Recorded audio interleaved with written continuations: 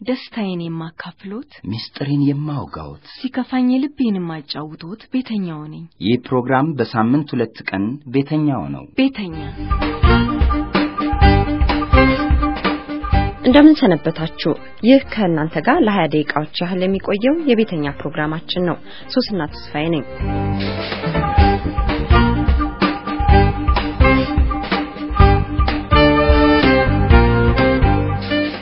ለበርካታ ሳምንታት ቤተኛችሁ ሆና ታሪኳን ታጫውታችሁ የነበረችው ቤዛይት ተስፋዬ ከእናንተ ከአድማጮቿ ልትለይ ሁለት ሳምንት ብቻ ይቀራታል። ቤዛይት አሁን በጥሩ ሁኔታ ኑሯን እየመራች ነው። ሳምንት ባጫወተችን ታሪክ እንደ እድሜ እኩዮቿ ተሞሽራ ማግባትንና ከዛም የልጅ እናት መሆን በጣም የምትፈልገው ነገር ነው። ቤዛይት ዛሬም ቤቷ ውስጥ ነች። ምን እያሰበች እንደሆነ ልትነግረን ተዘጋጅታለችና አድምጧት።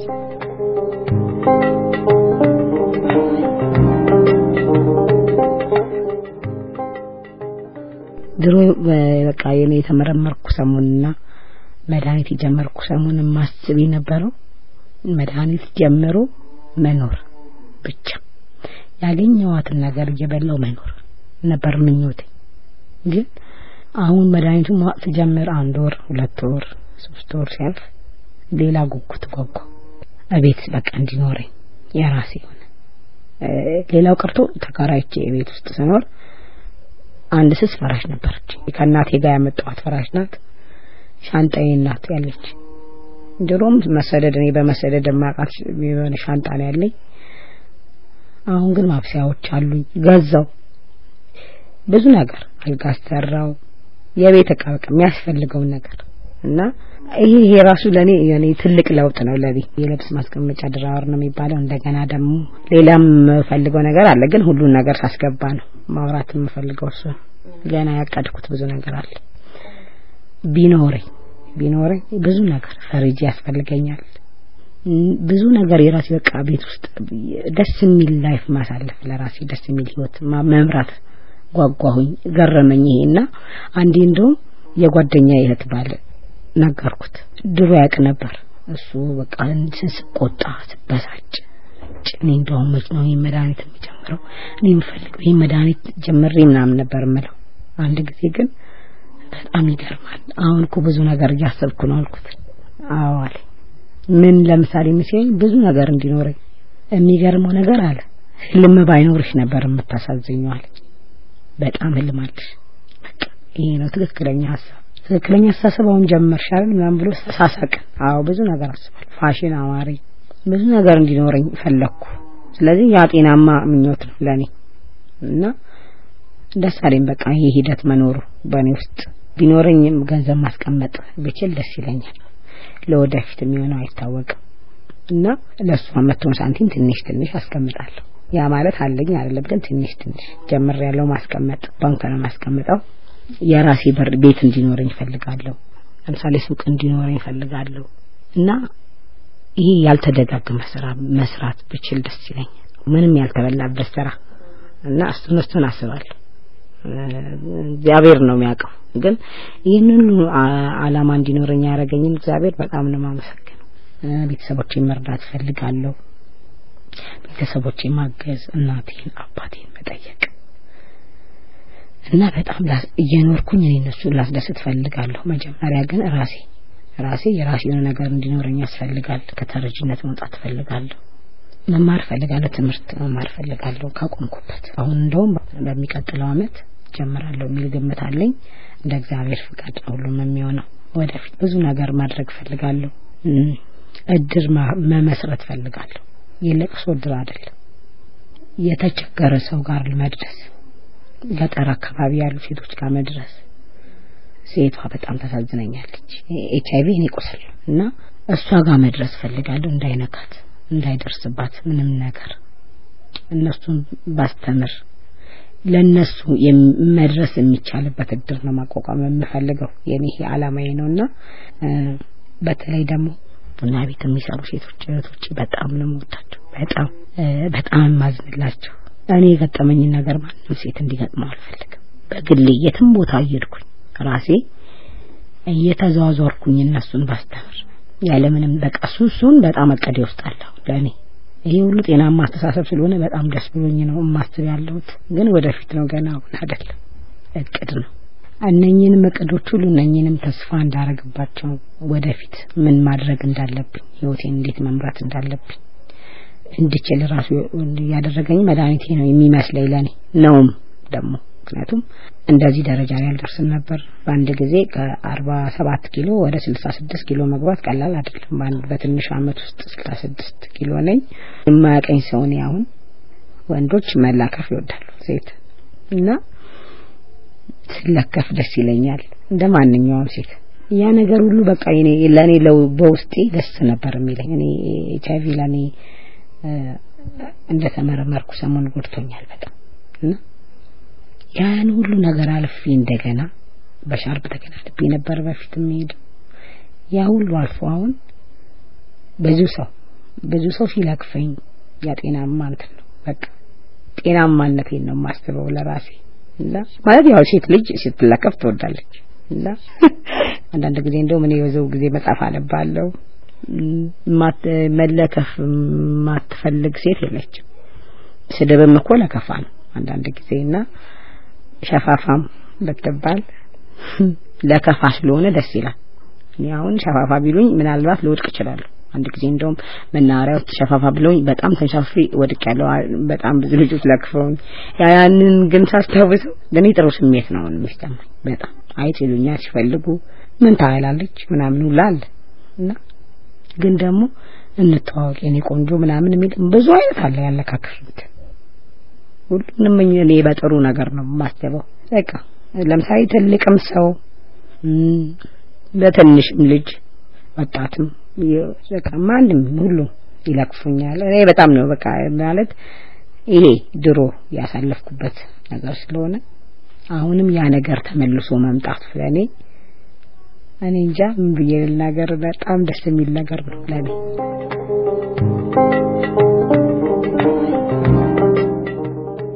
ቤዛይት ዛሬ የመጨረሻውንና አሁን ያለችበትን ሁኔታ ነግራን ከዚህ በኋላ የእናንተን ጥያቄዎች አስተናግዳ እንዲሁም የዚህ የቤተኛ ፕሮግራም ባለታሪክ ሆና በሬዲዮ ታሪኳን በየሳምንቱ በመናገሯ ምን እንደተጠቀመች አጫውታን በሌላ ባለታሪክ ትተካለች።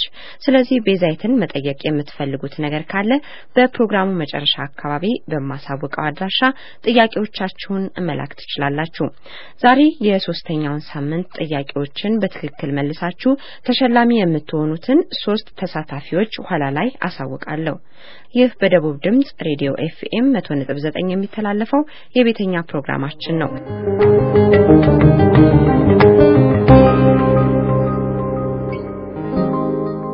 ቤዛይት ተስፋዬ አሁን ጤነኛና የተረጋጋ ህይወቷን እየመራች ነው። ኤችአይቪ በደሟ ውስጥ እንዳለ ማሰብና መጨነቅ ብሎ ነገር ፈጽሞ የለባትም። ከጓደኞቿ ጋር ትዝናናለች፣ ትሰራለች፣ ለወደፊት ብዙ ታቀዳለች። ኤችአይቪ በደማቸው ውስጥ ያለ ሰዎች አብዛኛውን ጊዜ ስለ ኤችአይቪ ምርመራ ውጤታቸው በሰሙባቸው የመጀመሪያ ጊዜያቶች አለመረጋጋትና መጨነቅ እንዲሁም ስለ ጤንነታቸው በየደቂቃዋ ማሰብ ስራቸው ይሆናል። ጊዜ በገፋ ቁጥርና ጤንነታቸው በተስተካከለ መጠን ደግሞ በሽታቸውን ማድመጥ ሳይሆን ሌሎች ብዙ ማህበራዊ ጉዳዮች ያሳስቧቸዋል።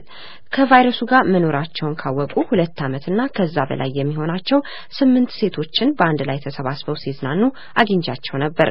ጨዋታቸው ስለምን እንደነበርና እንዴት እንደሚዝናኑ ተመልክቻለሁ።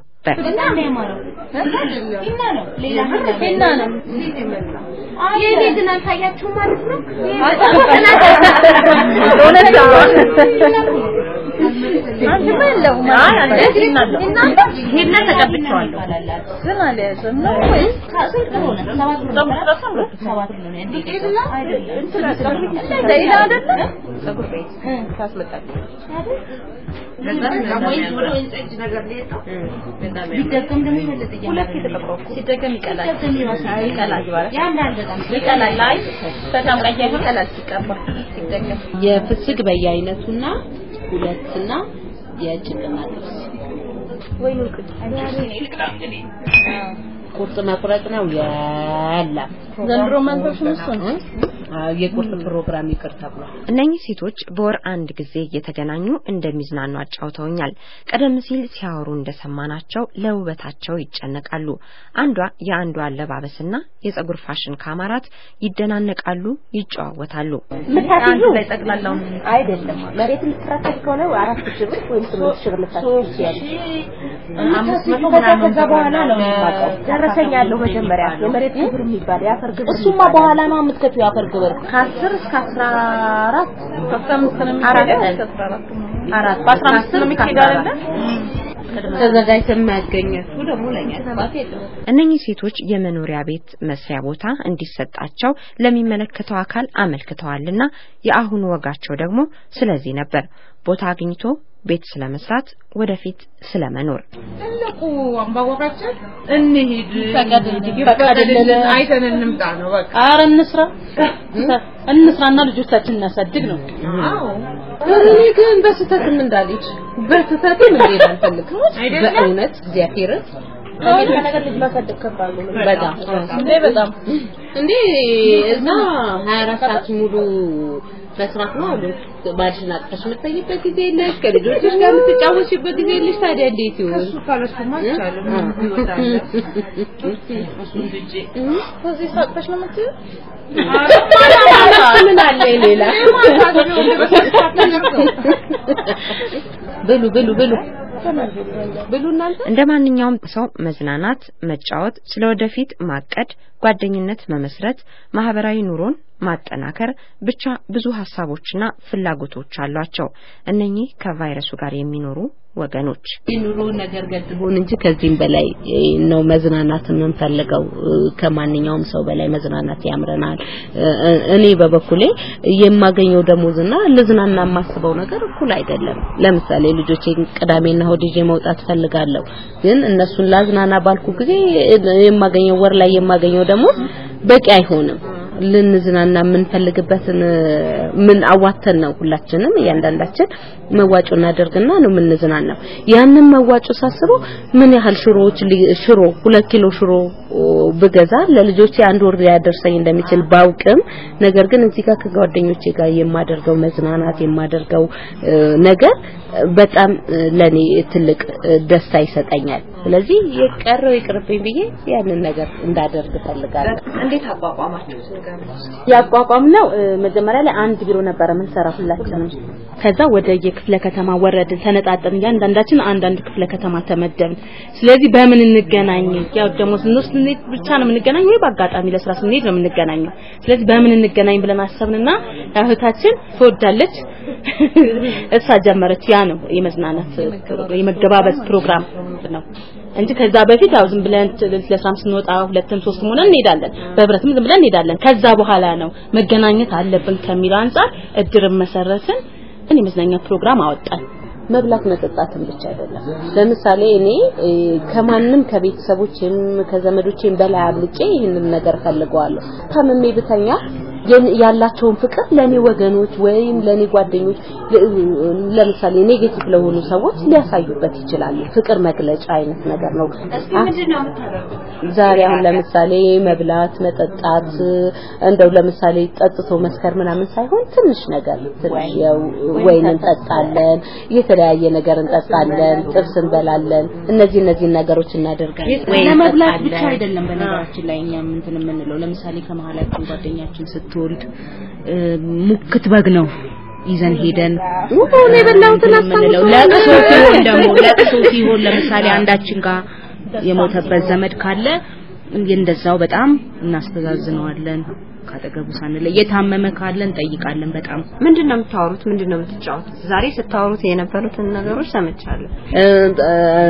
ጥሩ አለባበስን ወይም ደግሞ ጥሩ አሁን ለምሳሌ ስለ ጸጉር ስታወሩ ነበር። አዎ ስለ ምን አይነት ቀለም ምን አይነት ቀለም እንደሚስማማት ምን አይነት አለባበስ እንደሚስማማት ለምሳሌ አሁን ባለፈው ጢስ መታጠን ምናምን እነዚህ ነገሮች እኔ ሄጄ ማሳጅ እንደተደረኩ እንደዚህ እንዳለ ያለውን ነገር ያለውን ነገር መጥቼ ነግራቸዋል። እነሱ ደግሞ ያንን ነገር እነሱ ደግሞ አዲስ ነገር ጥሩ ቦታ ሄዳ ጸጉሯን ከተሰራች ጥሩ ያደረጓትን ነገር ምናምን ነገር ትነግረናለች። በዛ ነገሮች እንሰማማለን። ደግሞ ስለ ልብስ አንደኛ የሚነግሩን እነሱ ሁለቱ ናቸው። ያው እዚህ ቦታ ለምሳሌ እንደዚህ አይነት ቆንጆ ቦርሳ መጥቷል፣ ቆንጆ ልብስ መጥቷል ብለው ይነግሩናል። ያው በቃ ሁላችንም እንሸምታለን ማለት ነው። እሷን አሁን ዲክሞ ነበር የምንላት። ዲክሞ ዲክሞ የምንልበት ምክንያት በጣም ደካማ ነበር። ትንሽ የጤናዋም እንትን ጥሩ አልነበረም እና ስትበላም በቃ እኛ በልተን ጨርሰን ብዙ ከዛ ወደ ወደ ስራ ስንገባ እሷ ገና ነበረች እና በጣም ደካማ ነበረች። አሁን እሷ ጥላን ሄዳ ተቃራኒ ሆና ቁጭ አለች። ዛሬ አሁን ጥላን ነው የምትበላው፣ ትጨርስብናለች። ስለዚህ እንዲህ አይነት ተረቦችም አሉ። እስቲ ይሄን ማህበር ልግባ ሳትይ የምትቀሪኝ አይመስለኝም። ዛሬ ካየሽው አንጻር አሁን እኔ ከቫይረሱ ጋር መኖሬ ብቻ ሳይሆን ከቫይረሱ ጋር አለመኖሬን የሚያውቁ ብዙ ሰዎች አሉ። ግን ከነሱ ጋር የማደርገው መዝናናት የሆነ ነገር ይጎልብኛል እዛ ጋር በእኔ አመለካከት አላውቀውም። ግን በጭውውቱ ግልጽነቱ አሁን ለምሳሌ ሌላ ከዚህ ማህበር ውጭ ወይም ከዚህ ከጓደኞቼ ውጪ ከሌላ ሰው ጋር ባወራ ድንገት ተሳስቼ ስለ ጸረ ኤች አይ ቪ መድኃኒት ላወራ እችላለሁ። ነፃ ሆኜ አላወራም። ገብቶሻል? ስለዚህ ነፃ ሆኖ አለማውራት እዛ ጋር ስላለ ከነሱ ጋር ሲሆን በጣም ነፃ ሆናለሁ። እንደው ብዙ ጊዜ ስለ ኤች አይቪ የምታወሩ ስለ በሽታው የምታወሩ ነው የሚመስለው ሰው ቢሉን ይሻላል። ስለ ምግብ ማይላለ ምግብ እንደዚህ አይነት ምግብ ጥሩ ነው ይሄ ነገር እንደዚህ አይነት ምግብ ጥሩ ነው። በምግብ እንትን በጣም እናወራለን። ልንዝናና እኮ የምንወጣ ስለዛ ልናወራ አይደለም። እያንዳንዳችን ለምን ሆነ ያ ያለፈ ታሪክ ነው ብለን የምናስብበት የምንጨነቅበት አንድ ቀንም የለም። እንደውም ትዝ አይለንም። ስለዚህ ምንም ሳናወራ ተዝናንተን ስቀን ተጫውተን እንሄዳለን። ከምግቡ የበለጠ ተገናኝተን የምናወራው ወሬ የምንጫወተው ምክርም አለ በዛው ልክ እያንዳንዳችን የቤታችን ጉዳይ ይኖራል። ተመካክረን ብዙ ነገሮችን ተደስተን ነው የምንሄደው። እኔ በበኩል አሁን ከነሱ ጋር ልገናኝ ሳስብ እኔ እንጃ የሆነ ነገር ነው የሚሰማኝ። እንደዚህ በቤት ዙሪያ ስለ ልጆቻችን በሚያስፈልጉን ነገሮች በሙሉ እንመካከራለን፣ እንነጋገራለን። ግን አሁን ለምሳሌ እኔ ልጆቼን በቃ በጣም እያስቸገሩኝ እንደዚህ ከሆነ ለአንዷ ጓደኛ እንደዚህ ነው እንደዚህ ነው ብዬ ብለ የሆነ ነገር ከሷ ደግሞ የህይወት ተመክሮ ትነግረኝና እነዛን ነገሮች ያስተካክላለሁ። ህይወትን እኮ ነው የምታነቢው እዚህ እንትን ላይ እዚህ ማህበር ላይ እዚህ አይነት እንትን ላይ ህይወትን ታነቢያለሽ እንደ ሌላው ሰው ማለት ከማህበረሰቡ የምናገኘውን ነገር እዚህ ጋር የምናገኘዋለን። እኛ ደግሞ እዚህ ጋር በተለይ የምናደርገው ነገር ፍቅርን ያስተምረናል። በችግሬም በደስታዬም ጊዜ ሰዎች አሉኝ ብዬ ነው የምለው። እንደውም በጣም ስናደድ ያው ለነሱ ተናግሬ አላውቅም። ዛሬ ግን ምስጢሬን ባወጣው ከባለቤቴ ጋር ራሱ የሆነ ነገር እንትን መቅረት ትችላለህ አሉ እኮ ነው የምለው። አዎ በቃ እስከዚህ ድረስ ነው የምፎክረው ማለት ነው። እና እሱ ራሱ ይፈራል። እስከዚህ ድረስ በቤተሰብ ላይ ሁሉ ተጽዕኖ አለው ፍቅራችን።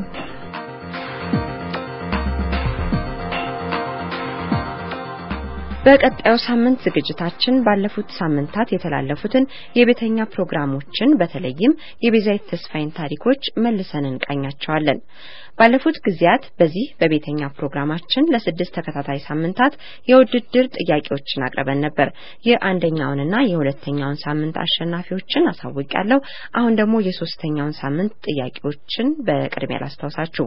አንደኛው ጥያቄ ቤዛዊት የጸረ ኤች አይቪ መድኃኒትን መውሰድ ከጀመረች በኋላ ካገኘቻቸው ለውጦች መካከል ሁለቱን ጥቀሱ የሚል ሲሆን ለዚህ ጥያቄ መልስ የሚሆኑት ጤንነቷ ከበፊቱ በእጅጉ ተስተካክሎ የነበረ ሲሆን የሰውነቷ መጠንም በጣም ጨምሯል። ሁለተኛው መልስ ጤንነቷ በመስተካከሉም ቤዛዊት በጣም ደስተኛ ሆና አዲስ ስራ ጀምራለች፣ የፍቅር ጓደኛም ይዛ ነበር። ሁለተኛው ጥያቄ ቤዛዊት የኤች አይቪ ምርመራ ካደረገች በኋላ በቅርቡ የገባችበትን የአስተናጋጅነት ስራዋን ለምን ለቀቀች የሚል ሲሆን መልሱ ቤዛዊት ይህንን ስራዋን የለቀቀችበት ዋናው ምክንያት የምትወስደው የጸረ ኤች አይቪ መድኃኒት ባመጣባት የጎንዮሽ ጠንቅ ማለትም የጉበትና የጣፊያ ማበጥ ተከስቶባት ስራዋን በሚገባ መስራት ስላልቻለችና ሐኪሟም አዲስ የሚለወጥላት መድኃኒት ሰውነቷን እስኪለማመደው ድረስ እረፍት እንድታደርግ በማዘዙ ነው። ለእነዚህ ጥያቄዎች ትክክለኛውን ምላሽ የሰጡት የሶስተኛው ሳምንት ሶስት ተሸላሚዎች አንደኛ ተማሪ ብዙነሽ አብርሃም ከአላባ የሞባይል ቀፎ ተሸላሚ ሆነሻል። ሁለተኛ ህሊና ሳሙኤል ከአዋሳ ሬዲዮ ወክማን ተሸላሚ ሆነሻል። ሶስተኛ ወንድማገኝ መስቀሌም እንዲሁ ከአዋሳ የቤተኛ ፕሮግራም በሚተላለፍባቸው ሶስት የሬዲዮ ጣቢያዎች የተላለፉ የቤተኛ ፕሮግራሞችን ትሸለማለ። የሽልማቱን ቀንና ቦታ ለሁሉም ተሸላሚዎቻችን ከሁለት ሳምንት በኋላ አሳውቃለሁ። አድማጮቻችን የዚህ የቤተኛ ፕሮግራም ባለታሪክ ቤዛዊት ተስፋዬ ከእናንተ ጋር የሚኖራትን የሬዲዮ ቆይታ ልታበቃ ነውና ከዛ በፊት ለቤዛዊት የሚኖራችሁን ጥያቄዎች ሁሉ በስልክ ቁጥር 0462 21 31 17 በመደወል ጥያቄዎቻችሁን ማቅረብ ትችላላችሁ። ስልክ የማታገኙም ከሆነ በፖስታ ሳጥን ቁጥራችን 26 171 ኮድ 1000 ለቤተኛ ፕሮግራም አዘጋጆች ብላችሁ ጥያቄዎቻችሁን መላክ ትችላላችሁ። እስካሁን ድረስ ቤተኛን በማድመጥ አብራችሁን ስለነበራችሁ እያመሰገንኩ እሰናበታለሁ። ሶስና ተስፋዬ ነኝ። በሰላም አሉ።